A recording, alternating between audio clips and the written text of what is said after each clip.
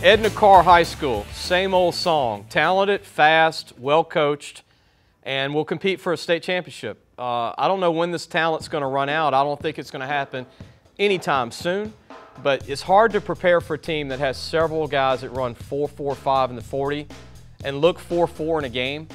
Uh, the surprise of the team is a kid I watched last year who's a senior now, Jameer Jackson, a defensive end. This kid could end up with 20 sacks before the year is over. He's the kind of guy that can go to an SEC school, and no one was recruiting him as a junior, but he's gained a lot of weight, and he can run a 4.6 at 225, 6'3". Buck defensive end, you know what I mean? And then they've got Kafani Simmons, one of the top skill guys in the city, that runs a 4-4. Ronnie Jackson, one of the top young running backs in New Orleans. Devin Bush, probably the best junior corner in the United States. And Skylar Perry, another D1 prospect at quarterback, the third one in a row, who's 6'3", 210, runs a 4'5", dual threat. And again, the reason why I think Edna Karr could go to the state championship again in 2017. McDonogh 35 is one of the class act programs led by Wayne Reese, who's been there for a long time, one of the legends of the city of New Orleans. Frank Daggs, one of the great D-line coaches, their staff, they do a great job. You know, everybody talks about McDonogh 35 offensive players.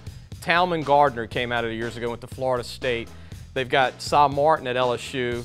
They've got a DB at Florida for the Gators that's going to play this week against Tennessee.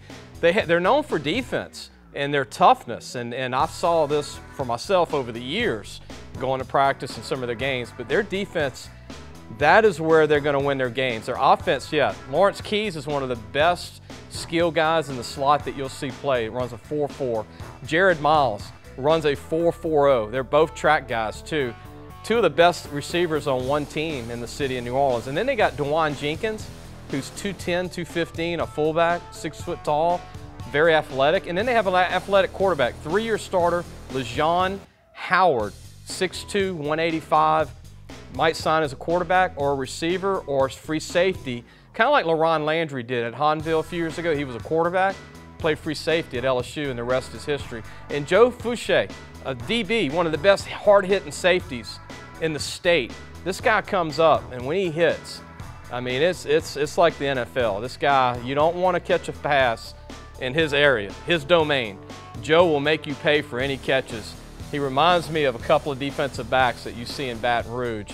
One of them is at Scotlandville, committed to LSU. But McDonogh 35, this will be a great game, two talented teams. It's like an old song. Everybody we talk about in New Orleans is super talented. There are over 100 prospects in the city of New Orleans alone for the class of 218. That's remarkable.